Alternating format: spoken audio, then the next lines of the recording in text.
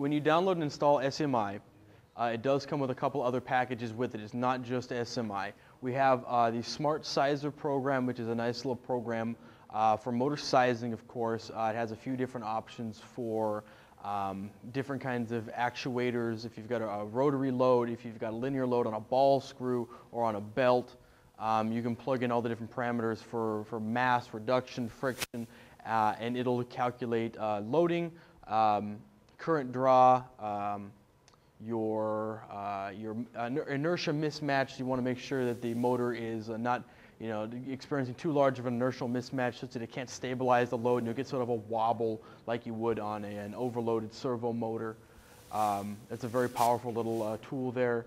Um, you also get uh, SMI engine.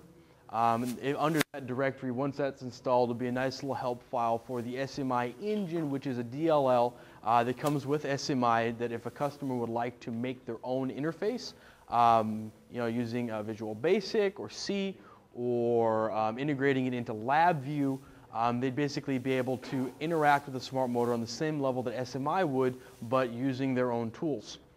Um, and a lot of people find that uh, very, um, very comfortable, particularly if they're used to using you know, a, a, Visual Basic environment or if they're integrating into a very, very large system, a PC-based system. Um, that's very, very powerful.